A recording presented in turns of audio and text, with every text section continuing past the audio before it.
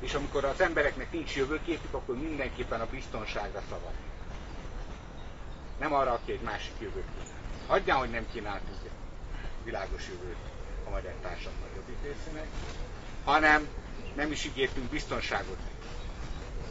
Ezért tehát, aki a baloldalon azt várja, hogy az önkormányzati választásokon majd októberben revánsot veszünk a tavaszi vereségért, az nagy hibát követel. Magyar társadalom októberben nagy valószínűség a többség a biztonság jegyében megint le fog szavazni a, a Fideszre, hiszen ebben a rendszerben, amit a Fidesz épített, a biztonságot az állammal való jó viszony e, e, testesíti meg elsősorban. Az is egy tény, hogy a magyar értelmiség most nem baloldali, jobboldali, nagy része kivonult a politikából. Tehát ugyanolyan kérdés, hogy miért van az, hogy nektek nem kell ez a fajta segítség. Az MSZP Dunaharaszti szervezet a mai napon itt a Nomád Camping udvaren egy kis összejövetel tart.